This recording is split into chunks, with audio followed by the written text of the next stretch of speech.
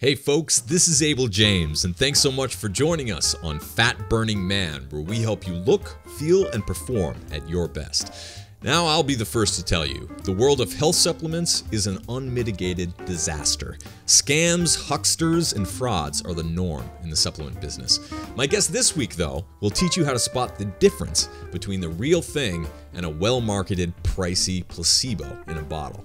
But first, if you appreciate what you've learned in this free show, please take a quick second to make sure you're subscribed to new episodes. That way, you won't miss the epic announcement that's coming soon. If you're listening to the podcast, just hop on iTunes or to the podcast app, find Fat Burning Man with Abel James, and hit subscribe. If you're on YouTube, Stitcher, or wherever, hit the subscribe button. And for bonus points, please leave me a review on iTunes, on Stitcher, or wherever you're listening to this. I read every one and I really appreciate it. Now, if you're wondering whether this wacky wild diet thing might be worth a try, you might want to check out my ABC TV show. The short story is you see me go up against other celebrity trainers, including 50 Cent and J-Lo's trainer, to see how well the wild diet works in a wacky, super stressful reality TV show environment. Hilarity ensues, and to watch the full episodes of the show, all you have to do is search for My Diet is Better Than Yours from ABC on YouTube or Hulu. You can also go to fatburningman.com to see the clips of me dressed up in a bacon costume doing sprints and much more.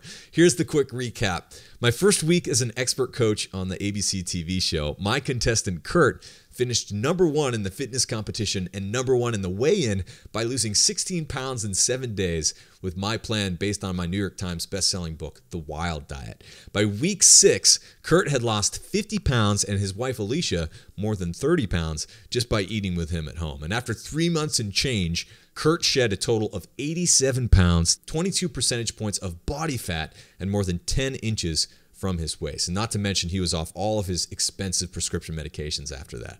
So, can you get in the best shape of your life in just a month or two? There's only one way to find out, and we'd like to show you how we did it. No ridiculous workouts, no calorie counting, and no gloom. We created our 30 day fat loss plan to give you all the tools and support you need to drop fat with delicious, real food. The Wild Diet was named a top trend in search by Google this past year, and we've recently been featured in People magazine and even Entertainment Tonight. So if you're ready to get results, grab your listener discount by typing in this special web address, fatburningman.com slash 30 days. You'll even get the 30-day meal plan featured on ABC TV, including chicken parmesan, cowboy burgers, and chocolate pudding. So from any device, just type in this address, fatburningman.com slash 30 days. That's the number 30 D-A-Y-S. All right, on to the show. Our guest this week is Jeff Chilton, and I met his son Skye on a wilderness survival trip in the Rocky Mountains a while back.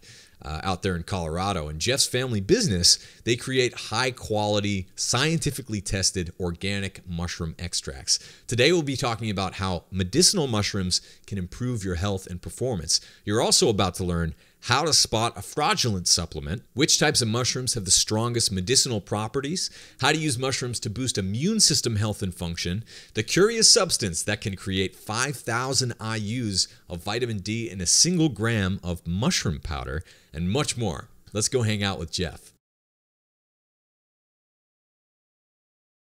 All right, folks, Jeff Chilton studied ethnomycology at the University of Washington and is president of Nammex. Jeff is a founding member of the World Society for Mushroom Biology and Mushroom Products and a member of the International Society for Mushroom Science. His company, Nammex, was the first to offer a complete line of certified organic mushroom extracts to the U.S. nutritional supplement industry. His extracts are used by many supplement companies and are noted for their high quality based on scientific analysis of the active compounds. And we're going to dig into that a lot more. Jeff, thank you so much for joining us. Hey, Abel, it's my pleasure to be here. Rock on. So, I, I would say that most Americans probably know mushrooms as an optional pizza topping. but you have a slightly different experience and you understand their power. So tell us a little bit about, uh, tell Americans something they don't know about mushrooms. How about that? Well, I, I, guess the first thing I'd tell you is mushrooms are a very nutritious food. And the reason why a lot of Americans don't know that is because uh, nutritionists, classical nutritionist, always looked at uh, foods with no calories mm-hmm. as basically a food with no substance, and so mushrooms kind of got tarred with that brush back in the early days. Sure. And and uh, but the fact of the matter is, is mushrooms are high in protein, like up to 25% of good quality protein, good amino acid profile, mm-hmm. um, uh, especially of essential amino acids. There's maybe one lacking, but otherwise, good amino acid profile, um, high in high quality carbohydrates, a lot of which we'll be talking about later. Mm-hmm. Um, low low in fat and uh, um, good vitamins like they've got uh, riboflavin, niacin, um, and the and so nutritionally, mushrooms are a great food. Also high in fiber, mm-hmm. which we all need and and uh, is something that uh, as we're talking more about prebiotics that comes into play they're a great prebiotic as well so so I guess what I would say is besides tasting good and I love mushrooms and yeah. uh, mushrooms are a good food and I recommend to everybody that put mushrooms into your diet. And and uh, having just come back from China and have traveled over there a lot, we ate mushrooms with every meal. I'm not kidding Is that you. Right? And oh oh yeah, and and uh, you know in China when you you eat a meal they bring out plate after plate after plate. So maybe you've got 12 different dishes to choose from. Mm-hmm. And out of those 12, there at least be two or three mushroom dishes. So it's a it's a, a big category, a major food over there. They're eating a lot of them. And I really recommend to Americans that they do the same. Get mushrooms into your diet. They're yeah. just a great food. But I think a lot of Americans are shortchanging themselves because they're used to those those pizza topping mushrooms, right? Which come out of a can. They have no flavor left. They have no substance really. It's not. It's not a. There's a huge difference between a fresh mushroom uh, or one that's that's wildcrafted. You know that you go grab from the woods like we did growing up. Those yeah, things yeah, yeah. are dang good, and they don't taste anything like that that tasteless glop. Well, you know what the, the and and I tell you, if I get a pizza and it's got a canned mushroom on it, I am not only disappointed, but I'm disgusted. Yeah. canned mushrooms are, are horrible. Yeah. Um, and, and, you know, I, I got into the mushroom growing business back in 1973 and worked for 10 years on a mushroom farm that grew the button mushroom. Mm-hmm. And, and the truth of the matter is, is I love those fresh, but on that farm, which was really cool, is that we had a Japanese scientist there, and he was growing shiitake, uh, oyster mushroom, and what's called enokitake mushroom. This is in the 70s. Mm-hmm. I was exposed to these other mushrooms, and in fact, we this farm that I worked on, and it was a, a big farm with 200 employees. It was the first farm to sell fresh shiitake into the U.S. market back in 1978. That's amazing. And and, and, the, and the funny thing about it is that despite a, a major marketing campaign, the whole thing flopped. People were not ready for shiitake, fresh shiitake really? mushrooms in 1978. So so so what they did is they they just stopped producing them, and sure. they they built up their agaricus industry and started producing more agaricus. And and you know, of course, today you can get maybe you know in the right place half a dozen different what we'd call specialty mushrooms. Yeah.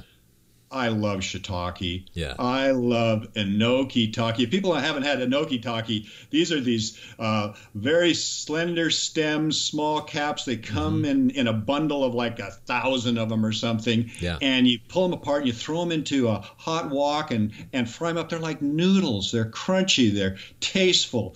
They're wonderful. And, and so I say to people, hey, get into it because mushrooms are, are a fantastic food, not only flavor wise but wise, but nutritionally. Yeah.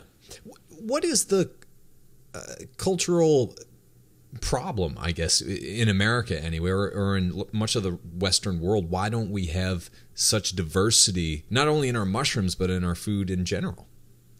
Well, you know what? There seems to be, and, and some people uh, categorize it as mycophobia, yeah. Uh, which is certain cultures are really totally into mushrooms, and not just in Asia, but in Eastern Europe, Russia. Mm-hmm. They know mushrooms; they're they're totally onto it.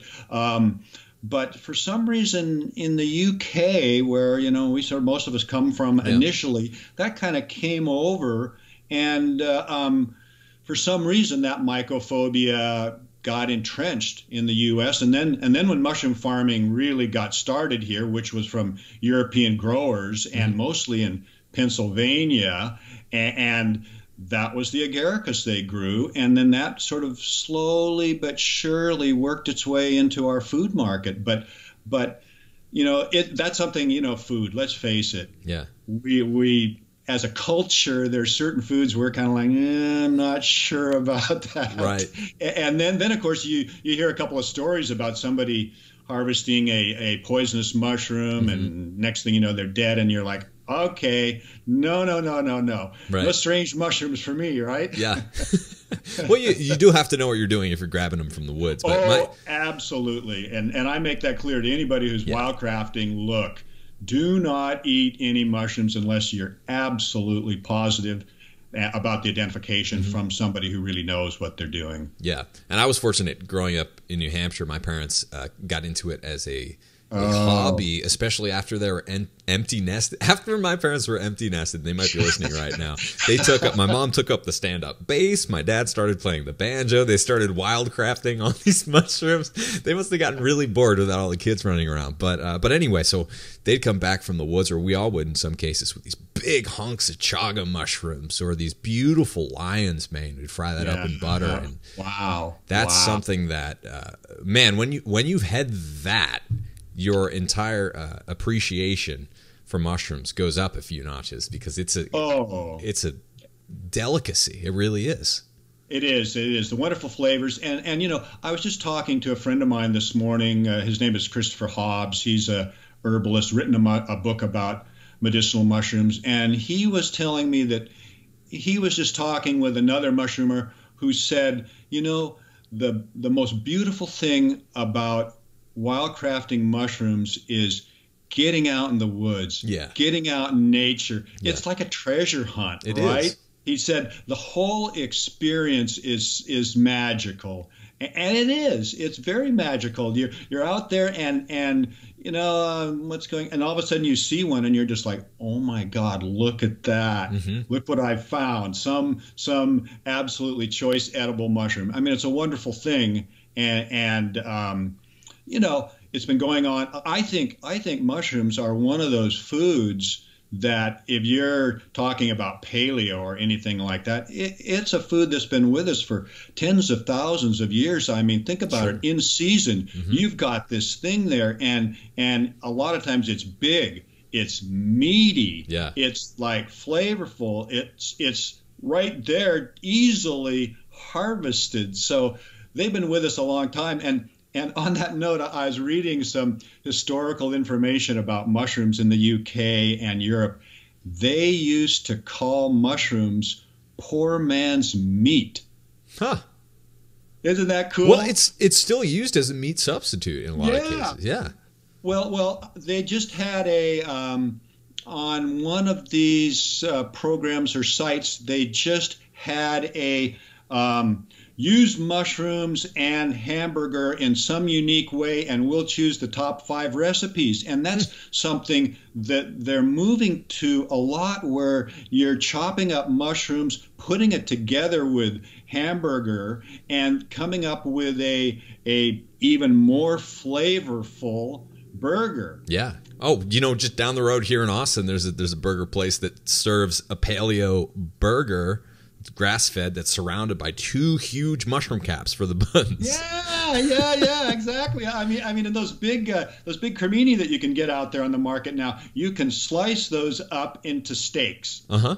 Oh yeah. Yeah, no, no, it's fantastic. They're they're, they're really uh, mushrooms are coming of age. It's it's something that I I really love because I've been into that for so long and, just seeing it slowly, slowly growing, and seeing the the varieties of mushrooms, the species that were are available to us, grow as well. So for me, it's just kind of like finally, yeah.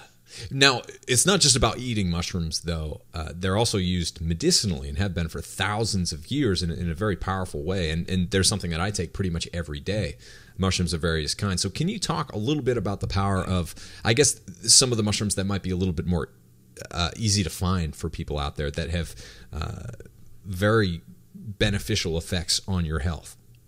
Well, well, certainly in terms of you know, let, first let me put it this way: most mushrooms, their cell walls are made up of compounds called beta glucans. Mm-hmm.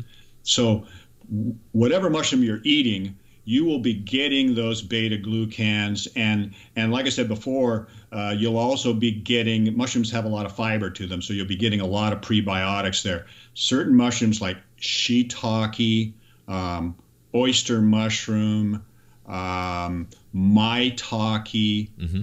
lion's mane. They have these beta glucans, and and the thing about it is, is, is the different mushrooms have each beta glucan. Let's put it this way: has a, a specific architecture that's a little bit different, and that architecture means that some of them are more active than others. Mm-hmm. So that's why some mushrooms are medicinal, some are not just by that particular beta glucan and how it's structured. So those mushrooms in particular, and, and some that are not edible, like uh, a reishi mm-hmm. or turkey tail, these are all medicinal mushrooms that you can also utilize as supplements. Yeah. And that, that's of course what what my company is is built around is is selling mushrooms as nutritional supplements and putting them into a form that's that's a little bit more concentrated than you might get uh, eating mushrooms. Mm-hmm. And again, like I say, I encourage people to eat mushrooms for nutritional as well as medicinal benefits. But for those who who can't or would like a little more, uh, supplementing with mushrooms is, is really a great way to go. And so we we take these mushrooms and turn them into extract powders that mm-hmm. that we sell to companies who put them out in capsules, bottles, and so on. Yeah, and the uh, when I first the, let me say this when I take supplements and I've tried quite a few. Most of them you just don't feel anything. But yeah. when I had cordyceps uh, for the first time I was like wow there's something right there. Yeah, yeah uh, and there are a few others that that really stand out. So what why would you take some of these mushrooms as supplements and and what could you expect?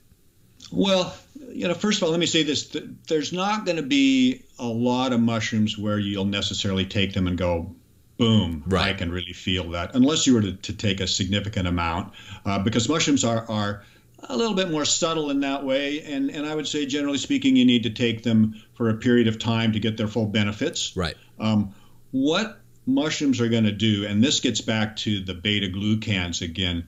They are uh, an adaptogen. Mm-hmm. They the beta glucans will come in. They will uh, hit receptor sites that we have in our lower intestine. Those beta glucans will hit those receptor sites, and then they will activate our immune cells. Mm-hmm. And the thing with an adaptogen is that is it may be there, and okay, you're starting to get a little bit of out of balance one way or the other. Well, the adaptogen is really doing its work in the sense that it's trying to keep you in balance. Now, if you've got an immune system and your your immunity is really low, generally, well, these supplements are going to to hike those immune cells up and get them a little more active in trying to get you back in balance. But I look at them in the sense of, and, and I look at health the same way, Abel. You know, it's like what we're really looking at here with our health is finding balance yeah. finding that place. You know, it, it's harmony. Mm-hmm. We need to stay in harmony, and when we get out of harmony, we get sick. Right. And, and my philosophy too is is um, I'm not out there looking at this like as a battle. Mm-hmm. You know, it's like we're going to war against this thing. I don't like those metaphors at all. Yeah. I really like the idea of we're in this big organism here. We're part of it, and we're all trying to get along, right? yeah. Sometimes, sometimes the balance kind of we're out, we get out of balance a little bit, and something comes in and affects us in a certain way that causes illness. Mm-hmm. So I look at it as as we're doing whatever we can, and mushrooms are can be a big part of that in terms of maintaining that balance and and that's where these beta glucans in the mushrooms are so important and and the interesting thing about the beta glucans is that there's a lot of scientific research that's been done on beta glucans and has demonstrated they have this immunological activity. Yeah. And so when and that's why to a degree too that mushrooms and are considered longevity uh, types of herbs. Mm-hmm. They're they're herbs that that maintain, you know, you get older and, and your immune uh, system is not quite as strong as it was before. I mean, just like a lot of systems as you get older, like like my memory. Sure. like, Where's the lion's mane? I need some lion's so so that that's where the mushrooms really come in and and can help us to maintain that immunity, that balance, that harmony. And, and that's sort of how I look at their their actions. Uh, uh, I don't look at them specifically as okay, they're going to definitely target this or that. They're a mm-hmm. little bit more non-specific, and that's that's how adaptogens work. Yeah. So so um, filling in the gaps. Yes, absolutely. So th- that's how I look at them, and, and you know, I, I, think I think too. Um, maybe I got to talk to you a little bit about the beta glucans and the fact of how important they are, and how one of the things that my company's been able to do has been able to measure beta glucans. Mm-hmm. And beta glucans are, are a polysaccharide. And, and, so you hear a lot of companies talking about, oh, the polysaccharides in their products and so on. But there are other things that are polysaccharides or too, like uh, maltodextrin yeah. and dextrose right. and grain. Yep. And, and so, so when somebody says, well, the mushroom product says, oh, we're testing for polysaccharides and the numbers are way up here, it's like, well, that probably means they're full of starch of some sort. Yeah. So, and you've been in the supplement supplement industry for a long time. It's uh, got a lot of problems, and when you walk into the store and you buy something that's supposed to have vitamin C in it or mushrooms in it, in a lot of cases, in fact, in most cases, uh, when when you really look at it, you're not getting what you're buying. Oh my goodness! I mean, I mean that is a topic that is just crazy, and and and you know, in in my part of it, in my category, in in the medicinal mushroom side of things, I did a study uh, last year. It was called uh, Redefining Medicinal Mushrooms, and in that study, we tested a hundred different samples, forty of which were retail products that we bought right off the market. Yeah. And uh, we had dried mushrooms, actual dried mushrooms. Then we had uh, mushroom extracts. Mm-hmm. We tested all of these products for beta glucans, and and what we found was that the majority of the bottle products were mostly starch. Hmm. And had very little, very low amounts of beta glucans. And the reason for this was, was fairly simple was that most products that are manufactured in the U.S. are not mushroom. They're what's called mycelium, mm-hmm. and they grow this mycelium on grain. And, just just to give you a bit of background on that, that, because it's really important, a mushroom starts basically this whole life cycle of this organism starts with a spore. The spore will germinate into what's called a hypha, mm-hmm. which is like a filament that we don't normally see. The hypha grow together, and that forms what is called a mycelium. That's the actual body of this fungus. And it's out there in nature, it's in the ground, it's in the wood. It's it's we don't normally see it unless we were to like when we pull that mushroom out, we kind of look at its base and look into the ground, and then we can see this this white filamentous type of of uh, oh thread like thing growing there. Mm-hmm. That's the mycelium. Uh, that mycelium produces a mushroom, and that's what we're used to seeing. And so, what happens is that growing mushrooms in North America is expensive. Yeah. Think about it like like if I grow shiitake mushrooms and I sell those to you, I sell them for uh, five dollars a pound, let's say, as yeah. a as a producer, and maybe in the store you pay ten dollars a pound or something, but five dollars a pound as a producer. But the mushroom is 90% water. So when I take the water out of it and mm. turn it into a dried powder, now instead of $5, I have to get $50 for that pound yeah. of dried shiitake.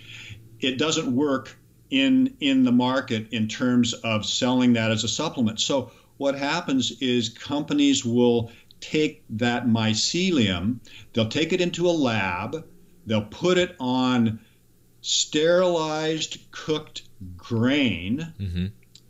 They'll grow out that mycelium on the grain. When it's fully grown out after, let's say, 30 or 45 days, they will then harvest it and grind it to a powder. And they haven't separated the grain out from the fungal tissue. So that product ends up being mostly grain powder. And, and the, the problem is that rather than identifying it as that, they call it mushroom and sell it as mushroom. So yeah. if you go out into the market and you're looking for these products and you see all these mushroom products, most of them are not mushroom at all. And and and the example I want to I want to give your listeners is if you know of a product called tempeh. Mm-hmm. Tempeh is a fungus grown on cooked soybeans. It's a food product. Mm-hmm. And it's a wonderful food product. So that's essentially what these people are growing. They're growing a fungal food product but yet grinding it up and calling it mushroom and selling it as a supplement. Yeah. And, and my testing showed that the beta glucans in that was somewhere around 5%, when in fact wow. a mushroom has 25 to 60% beta glucan. Yeah. And, and, and starch wise, which is the other side of it, is a mushroom has no starch. Mm-hmm. It has glycogen, which is is under 5%. And these products are 30 to 60% starch. Wow. So so now now think about that for a second if you're if you're onto a paleo diet and you've just bought this great mushroom product and you're like, "Oh man, I've got this wonderful mushroom product and I listened to this person and was an expert and told me it was a great product and I'm taking it and, I, and you know the first thing I ask those people is, "Well, you know, what's the brand?" And then yeah. I say, "Well, do you know that actually what you're taking is mycelium that's grown and produced in a laboratory on sterile grain. It's not paleo. I'm sorry yeah. to tell you. It's not even mushroom. Yeah. I bet they don't like hearing that. oh my God.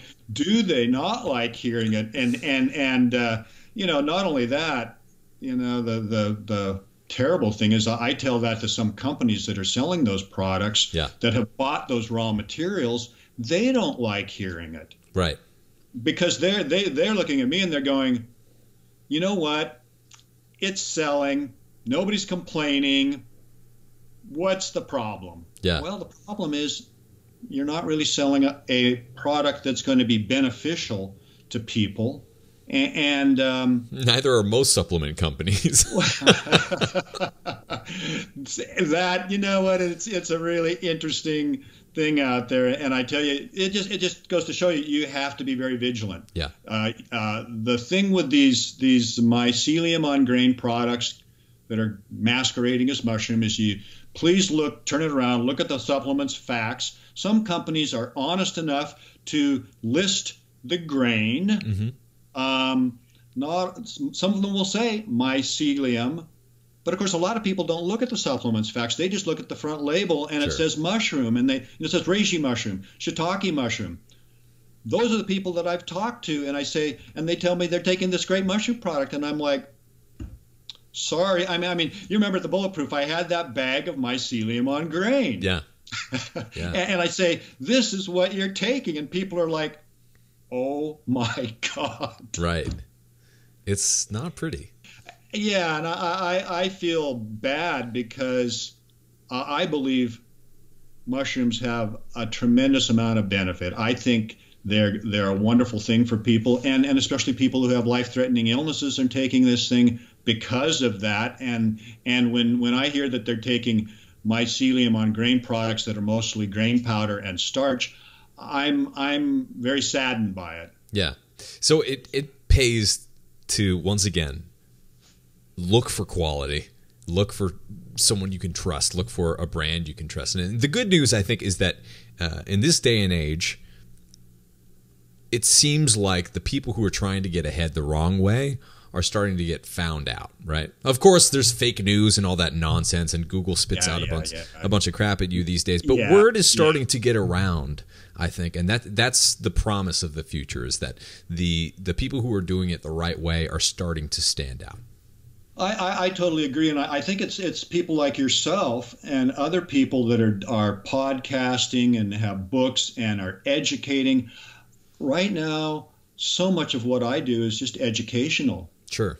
I'm out there not just uh, trying to educate consumers, but mostly I'm trying to educate um, naturopaths, herbalists, uh, any company in the supplement industry. I have a ton of content on my website that that helps to educate people. That's what I'm doing mostly, and and I feel it's so important. And and in a way, it's funny because I did this study, and, and I was I was sort of like sitting back with my business for 10 years just going you know things are doing okay it's not growing much but that doesn't matter Uh, it's it's doing well i've got a customer base out there and all of a sudden having published that Yeah. it has dragged me right into this whole thing and now i'm like working more than i have in Is that right? years Well, it's a good problem to have. I, I guess it is. Yeah, I, I- I don't mind. I, I'm I'm enjoying it, and and uh, I, I feel very passionate about it because mushrooms have been a big part of my life. Yeah. and and I like I say, I think they're very beneficial, and I think I think it's a great supplement for people if it's the right thing. Yeah. it's a great supplement for people, and and I also like I say, I encourage people to eat mushrooms. It's it's a it's a wonderful food. Yeah. Now the hard the hard thing for me initially anyway was finding a way to take powders because they're uh, obviously not as convenient as capsules. But if you go and you buy the the capsules, uh, in a lot of cases you don't know what you're getting. Um, Yeah. But throwing them into smoothies makes it really easy. Uh, and sometimes I'll make. I, I may have mentioned this on the show before, but there are certain things that taste great. And uh, reishi is not one of them, right? Like, so in a lot of cases i'll have like a, a, a smoothie or something like that that i will on purpose try to make taste good and i'll leave the the the more offensive flavors out of it. Because it's not just that. It's, and it's not just the mushrooms. Like there are a lot. Sea buckthorn and and a lot of other you know very nutritious things can just ruin a smoothie or ruin whatever you're eating in, a hurry. But instead I- i make almost like a bitter cocktail right? Where where i mix up all the powders into this little elixir almost and i just you know glug it down. And it's not the most pleasant thing that i've ever consumed but it's very effective and uh, uh, I noticed something happen after I started doing that and I think it has to do with the bitter tastes that you experience. And there are a lot of benefits to actually getting that that punch in the face of bitter flavor every once in a while that kind of resets your palate. Well, you know what? Bitters are are, are really an old world type of uh, let's just call it remedy. I mean, bitters were something in the diet and and were were important, I think. And of course, we've gone in North America into everything's got to be sweet Right. or maybe salty. Totally gotten away from that. And when it's bitter, people are like, mm, I don't think so, right? Yeah. They want something sweet somehow. And, and what I like to do with the reishi, by the way, I, I love my coffee in the morning, and I drink it just black, and and I add um, maybe a a um, I don't know uh, half a teaspoon or something of reishi extract into my coffee. It dissolves right into it, and it gives it this other bitter tone. Yeah. I've done it with coffee. That does work. Yeah. Yeah, so I that's what I recommend to people if they're coffee drinkers, and and, uh, um, and and then of course if, if they sweeten it, fine, sweeten it to your taste. But you've got these two different bitters working together. So that's kind of my recommendation for the reishi because man, you're you're right. I mean, reishi is like in a way it's concentrated bitterness. it's like really a bitter flavor, and and that's something that you can use. I tell people uh, have, do you have a reishi product? Well, yeah, I've got it. It's really great. Well, pour out the capsule, uh, taste it. If it tastes bland, if it tastes at all sweet and grainy, Yeah. well, you don't actually have a reishi product because if it's a reishi product, it is going to be bitter. So that that to me is my reishi challenge Yeah. to people. it better taste bitter. It better taste bitter if it doesn't. And and uh, while we're on it, too, I just want to mention a couple things about about polysaccharides. One of which is there are companies now that still do a polysaccharide test for mushroom products, mm-hmm. and all that does is if you've got a lot of grain in your product, you've got a high polysaccharide number. Yep. I, polysaccharides for mushroom, a polysaccharide test for mushrooms is absolutely worthless. Yeah. Don't go there. And the other thing that I really love is if you've got a, a mushroom product and you're not sure whether it's real or mycelium on grain, get yourself a little bottle of iodine take that mushroom product, dump some out into a cup of water, mix it up really good, put 10 drops of iodine in there. If there is starch in there from the grains, it will turn black hmm. immediately. Yeah. It is the coolest test and and then and then if you've got like dried mushroom or something around, powder up some dried mushroom, put it into a, the same water, put the iodine in. You'll see there is absolutely no change at all. So that's a great test for those people that are like, gee, I'm not sure. I can't really tell from this. Well, give it the iodine test. yeah, it's it's really fun, really cool. It's like an unmasking, right? Yeah, totally.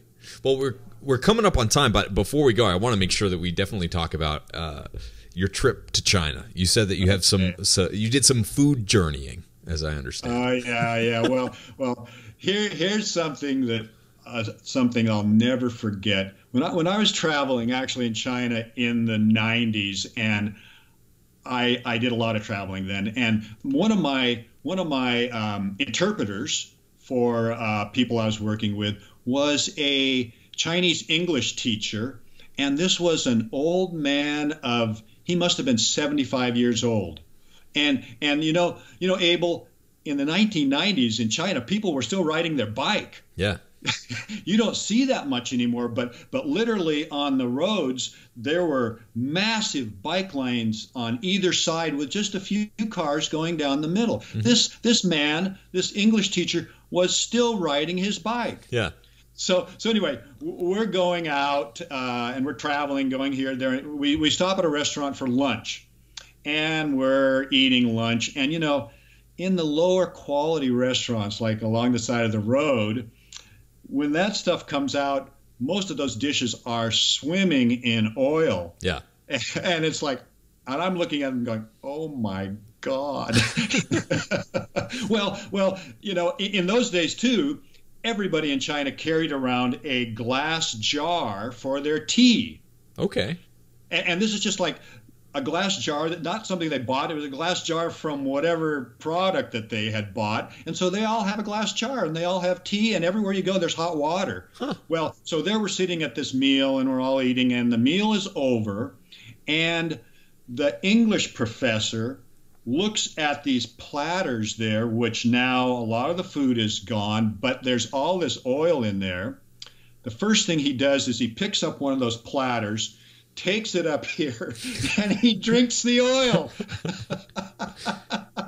then, then he emptied out his tea jar and he collected the rest of the oil wow. from the table this was a man who had been through the famines of the 20s and 30s. Okay. And for him, it's like, man, that oil is is big time calories. Yeah. Sure. And, and and, so and and I'm just sitting there going, wow, this is amazing. Yeah. what kind of oil do you think it like peanut oil or frying oil or? Oh, it was it was frying oil, and it had to have been some of your lowest quality oils you can imagine. it would not have been a good oil, but but you know what can I say? I mean, I mean, the Chinese people certainly back then, healthy. They're on their bikes. Mm-hmm. They're riding all the time. Nobody's driving around in cars and spending all that time sitting in a car or anything like that. Today it's just the opposite. They've they've yeah. gone completely Western. Everybody's got cars. You, in the cities, you don't see very many bikes at all. In fact, most people are on electric motor scooters if they're not in a car. Okay. So it's it's changed completely. Yeah. I I you know I, I rode around Beijing back in the 90s on a bicycle, and it was just easy and and you never thought about you know am i going to get run over by somebody? They had bike parking lots that were unbelievable. Thousands of bikes that looked exactly the same wow. in a bike parking lot. Yeah. Well as a uh, I love biking and that sounds like in a way the past almost sounds like a utopian future right? A lot of cities now are trying to put in biking infrastructure. Yes vancouver yeah. Vancouver, BC, absolutely. They've got a great biking in, infrastructure now. And, and if you go to Amsterdam, Amsterdam's got a fabulous biking infrastructure, and they still have very big bike parking lots in, Sure. in Amsterdam. And Holland, they still bike a lot. yeah it's It is something back to the future. we're right we're we're all struggling with different things but at the same time and hopefully we're going to be able to solve some of these problems because you know it's uh it's disheartening to hear that that a lot of the countries around the world are following America's lead but not in the right way No, no, you're absolutely right. And, and you know, I, I think really that one of the big things is get out of your car. yeah stop spending so much time. Get into a a, a, a city or, or whatever kind of urban environment where you can walk. Walk more. Don't take that car so much. You know, that that to me is is one of our biggest problems is just that it's a car culture. Everything's organized according to a car. Yep. That keeps us from walk. Walking is probably one of the best exercises that humans can get. Yeah, it is. And when you combine that with eating real food and uh, having things, traditional foods, I, I, I think mushrooms certainly fall into the traditional foods category. Uh, all of a sudden, your entire life can change. And I think as as Westerners, it's important that we don't lose sight of all of those different traditional foods and the traditional ways of even moving around, which I think bicycle could probably be included in that as well. It absolutely could be included. That bicycling and walking. I mean that that's really very human, very natural, and and we need to get back there. We really do. Just like you know, I, I'm so heartened right now because you know I look at my sons and you know they listen to people like you and and Dave Asprey and Ben. Green, a lot of these people, right? And they've got a. They're so much into a healthy diet. yeah. They're into exercise they're doing things which you know when i was in my my 30s unfortunately i, I was smoking cigarettes sure. i was you know not getting as much exercise as i should have that's changed a lot but certainly all of these things when i look at this new generation of you guys and i just think man you guys are doing the right thing and I, i'm i'm so happy and encouraged by that that we're starting to bring back that culture which is much more genuine Right on. And now you have a family business with your son, which is just That's right. That's right. I- I'm so excited about that. I really am. these generations can definitely learn a lot from each other, and I think you're you're a great example of that. Um, we're coming up on time, but before we go, can you tell folks where they can find you and and what you're working on next? Sure. Um, if you go to nammex.com, we have a ton of great content there that will help to educate you. And one of the cool things I'm working on that we didn't get a chance to touch upon is that mushrooms have a compound in there in them called ergosterol. It's similar to our cholesterol. Well, this ergosterol, when you expose it to UV light, turns into vitamin D. Mm-hmm. Okay, vitamin D2, which is not D3, which comes from animals, Yep. which is fine. I mean, I don't have a problem with that. Some people do. Sure. But D2 is is very very um, important. I I mean, D in general is important. D2, the research is kind of goes back and forth on which is better.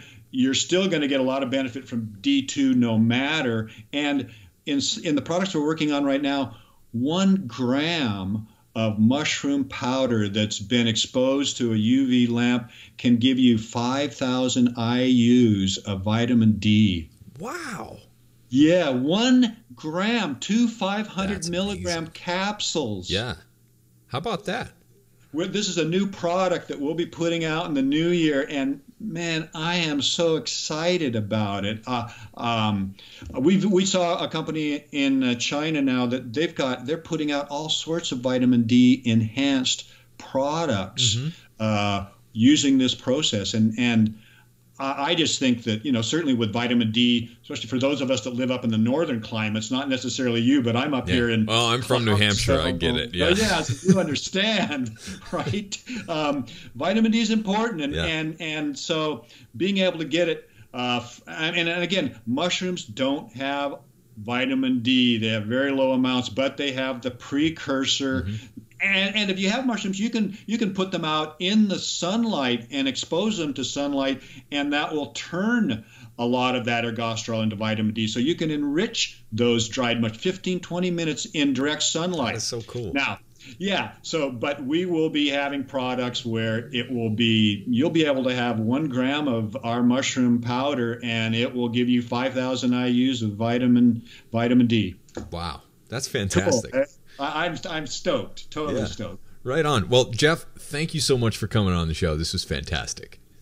My pleasure. I really had a great time, Abel, and I look forward to, to seeing you in the future, if not before Bulletproof, then Bulletproof, or maybe the Paleo Conference. I think we're going to do that next year in Austin. If you're still there, we'll see you there. Right on. I'm here right now.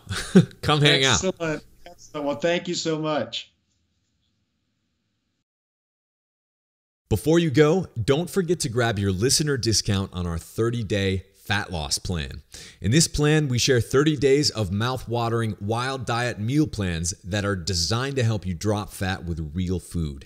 The meal plans are paleo friendly, easy to make, and literally the meals that my wife Allison and I eat just about every day and night to stay lean, fit, and happy. In the program, you'll get the most effective method of meal and nutrient timing to best stimulate fat loss and muscle recovery, the truth about how much protein you really need for your body type, 30 days of specific healthy fat burning meal plans as a done for you nutrition strategy, and tons more. If you check it out today, you'll even get a listener discount. All you have to do is type in fatburningman.com forward slash 30 days. That's the number 30, D A Y S. Once again, that's fatburningman.com forward slash 30 days. I'll see you there. Thank you so much for joining us on this episode of Fat Burning Man. If you liked it, don't forget to hit the subscribe button on iTunes, Stitcher, YouTube, the podcast app, or wherever else you might be listening to or watching this show. Got a second? Please leave me a quick review on iTunes. I always love hearing from you. And if you think someone else might like and benefit from this free show, please take a second to share it with a friend or with a family member. You can get in touch with me on Twitter at FatBurnMan and Facebook by typing in Abel James or Fat Burning Man. Drop me a line anytime. Did you know that I've recorded over 150 episodes of Fat Burning Man, winning four awards in independent media and hitting number one in more than eight countries? And here's some more good news you can download and listen to every single episode for free. All you have to do is type in fatburningman.com. I'll give you a second to type it in fatburningman.com. And you'll get all the show notes in video and audio versions for all the past episodes of Fat Burning Man. Better yet, enter your best email at fatburningman.com, sign up for my newsletter, and I'll even send you a quick start guide to start burning fat right now and a few of our ridiculously tasty recipes as a special thanks for signing up. Once again, just go to fatburningman.com right now, enter your best email to get your free fat burning download straight to your inbox, and make sure that you never miss a show again. This is Abel James signing off. Thanks so much for listening, and have a great week.